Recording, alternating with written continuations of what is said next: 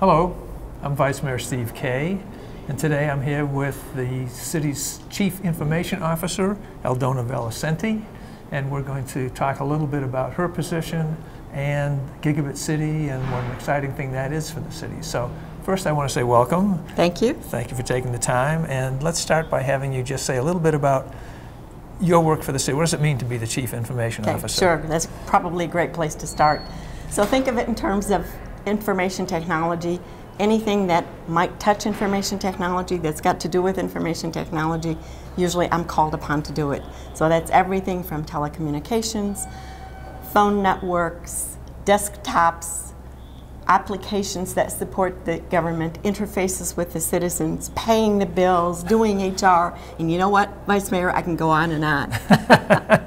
but anyway, if it's IT, I get it. So it's highly technical work. It's fairly and, technical. And before you came to the city, you did similar work in industry? I did. I did similar work. I've had actually many, many years in this industry. I, I worked in the uh, oil business for over 20 years, doing a lot of IT and how you explore and, and process chemicals. I was the first appointed CIO for the Commonwealth of Kentucky, and I did that for six years.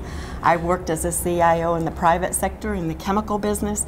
So, frankly, I'm hoping that maybe this has been a good way to start. But I'll tell you, I've never had a more interesting job than this one. Well, that's good.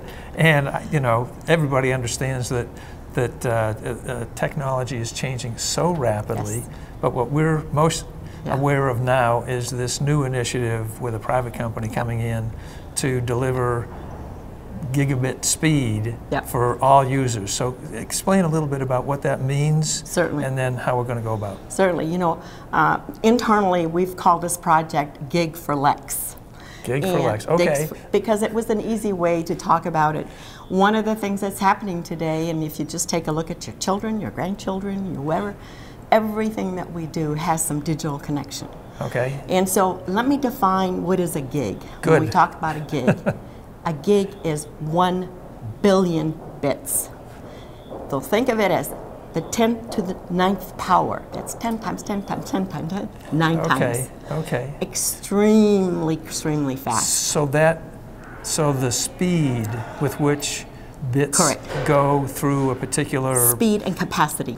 Okay. So you have to think in terms of gigabit like a pipe almost. Okay. You know, you can put so much water through a little pipe Yeah. or a little tube, and the amount of data that we're now processing will require more faster. Okay. Pictures. We want to stream traffic. Okay. We want to be able to stream pictures and meetings and analogies. It's no longer an analog world, it's a digital world. Yeah. You know, our students get their homework that way. They want to look at not only the geography out of books, but they want to look to see what's happening in Africa and real life pictures and whatnot. So the world is really changing dramatically. Okay. And most people now who have an internet connection, Correct. even if they have a high speed internet, That is correct. how fast is that compared to a gig? Well, it's, it's probably just a rounding error. It's slow compared to what we could have.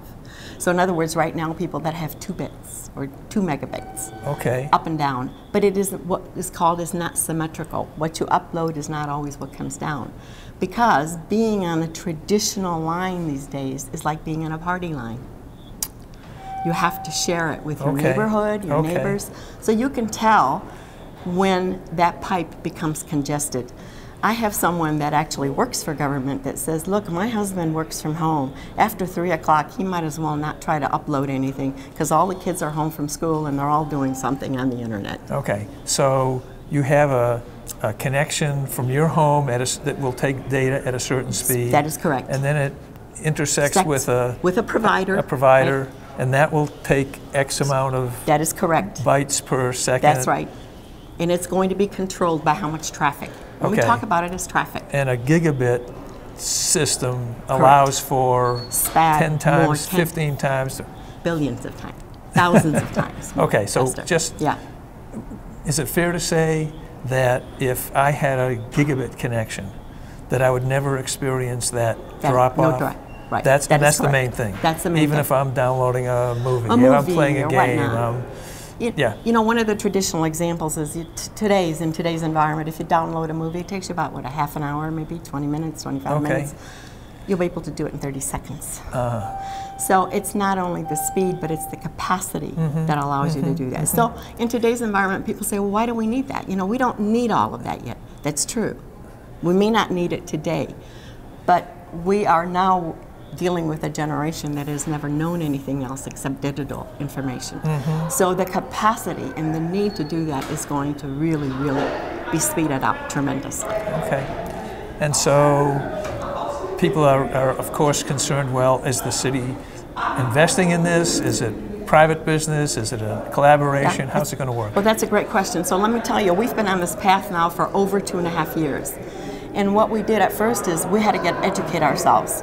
So in other words, is this something the city ought to build? We did an RFP. Are there investors that can come and do it for us? It was very clear after we did a couple of studies the city couldn't do that themselves. Okay. We were looking at a report from one of the consulting firms that we had that said this is going to cost between 185 and 200 million dollars just to do the city that is not an investment the city can make. So then we started to look at are there public private partnerships? Is there a way to attract an mm-hmm. outside company to mm-hmm. come and do that? Because remember, we wanted to do two things as we started to walk down this path. Can we bring competition into the city for present suppliers? Mm-hmm. And secondly, can we build a new infrastructure?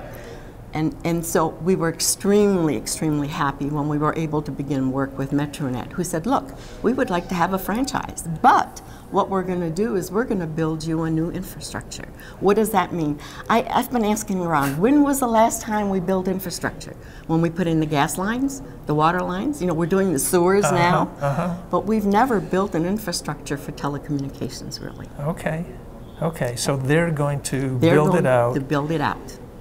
And you mentioned competition, and Yes. I know that a lot of people Yes. feel that while it's important to get this greater speed, what they really want is immediate relief, Right. so that Yeah. they're not stuck with one only one That's provider, one and they don't have they don't have an Yeah. option. So one of the technologies, you know, that we have presently is we were able to use the coax cable, the phone lines, mm-hmm. And then enhance it from both ends with technology to provide it for the internet. Okay. The company that we are working with now is going to build a brand new infrastructure. You know, Okay. scientists in the business say that fiber networks will last 30 years, 40 years, maybe longer. Uh-huh. The only thing that will change is what I call the electronics at the end that control the speed Okay. of how you're going to be able to process it. The electronics may have to be upgraded and updated as new technology comes along, but that's the beauty of the investment. Okay. So they're going to be basically installing fiber That's correct. cable, and is that going to be underground, above ground, a mix? The answer is yes. the, the most preferred way is to go pole to pole above ground because Okay. Mm-hmm. you don't have to dig, you don't have to tear up the earth, you don't have to do any of that. So it, basically, another one more line Correct, on existing, existing. poles. And for that, you know, since the city does not own a utility, that's something that the vendor will have to do with the companies that own the poles. Okay. So that's one way. The second way, I think there will be areas where they will have to, to dig the street up. Okay, because we have some places that don't have poles. that is correct. And so Most of in the suburban cases, areas. There is also a technology called micro trenching and boring. Uh-huh. Micro trenching is building a tiny little trench at the side, not necessarily cutting the whole street in those cases where possible. And then boring, you make a hole and you put a little scope down and try to figure out whether there's room to put something Okay, else. okay. So it's all of those things. So when we talk about construction, it doesn't necessarily mean they're going to start tearing up the ground. So is it fair to say that typically where there are poles, they'll work out? If and they can work out an they'll it- that's And the- they'll run it on poles, Yeah. which would be Preferred. preferred, and it won't disrupt, I mean, people would Very be hardly aware. And then Right. if there has to be digging, Yeah. micro Yes. trench, and sometimes if that's not possible, Well, we'll, they we'll have to do like more other invasive. utilities. Right. Yeah, The thing, though, that is, you know, they go through all the permitting that has to be done with the city. So in other words, they have to get the permits. They have to show that they're remediated, which is something uh, that is part of what the city does with any vendor that would Right. come in. So they'll have to follow the ordinances and the rules that we have in place. Okay. And then it's timing of all of this. Well, you know, they were hoping to start doing some of this, but the weather got a little worse than what they thought the last couple of weeks. Uh-huh. But I'll tell you, the first permit was issued yesterday in, in one of our easements to start doing some of that. We still have a few things to work out from, but the, the franchise, the franchise agreement is done. And like I said, the first permit was issued yesterday. Okay.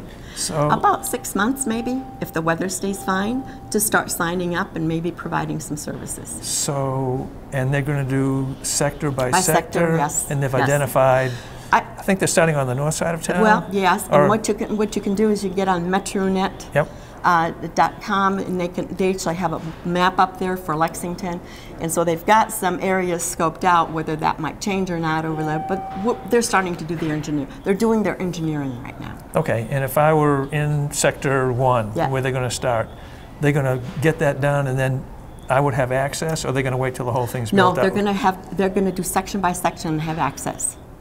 So Okay. some people will get it sooner than others, because, you know, one of the things that they have done as a vendor, and by the way, we talked to and vetted many, many folks in this. Okay. Um, nobody can do it all at once. Yeah. That effort is too big. Not only that, but we would not have the capacity to do it all Right. at once.